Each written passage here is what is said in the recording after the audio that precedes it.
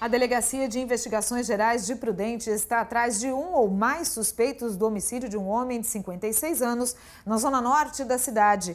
O homem foi encontrado pelo Corpo de Bombeiros depois de várias ligações anônimas. Ele estava caído na cozinha com um tiro no peito. De acordo com a polícia, o auxiliar geral morava sozinho e teria tentado se defender do agressor usando um espeto de churrasco. O que intriga a polícia é que as denúncias teriam sido feitas a partir de telefones públicos em São José dos Campos, cidade que fica a cerca de 800 quilômetros de Prudente.